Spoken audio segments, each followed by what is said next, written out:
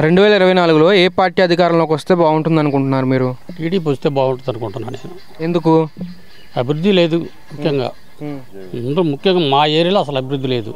మరి కోన రఘుపతి గారు బాగా అభివృద్ధి చేశారు బాపట్లలో అంటున్నారు. నేను నేను ఇక్కడికి వచ్చి నేను రే- రైల్వే ఎంప్లాయీని. రిటైర్డ్ అయ్యి మూడేళ్ళు అయింది ఇక్కడికి వచ్చి. ఎప్పుడు కూడా వచ్చి ఆయన కనిపించలేదు ఈ ఊర్లోకి. ఉమ్, అది.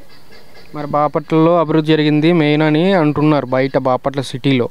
సిటీలో ఎంతవరకు పల్లెటూరులో మటుకు అసలు జరగట్లేదు. ఇక్కడ రోడ్డపట్లో అసలు జరగలేదు.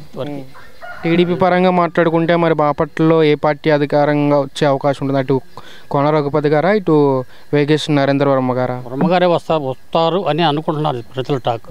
ఎందుకని? ఆయన అయితే ఆయన వస్తే కొద్దిగా అభివృద్ధి చేస్తాడని గత కొంతకాలంగా సేవా కార్యక్రమాలు చేస్తున్నారు అంటున్నారు. అంటే ఎలక్షన్ వల్ల చేస్తున్నారా లేదంటే ఇంతకు ముందు నుంచి ముందు నుంచి చేస్తున్నాడు అతను. చేస్తున్నాడు. మన స్టేట్లో చూసుకుంటే చంద్రబాబు గారు వస్తారా లేదంటే జగన్మోహన్ రెడ్డి గారు వస్తారా? అది ప్రజలను ఆడి మనం ఏం చెప్పగలం చెప్పండి. స్టేట్ పరంగా అయితే. ఇక్కడైతే బాపట్లో మాత్రం అప్పట్లో గ్యారంటీగా టీడీపీ వస్తుంది. ఓకే. ఓకే.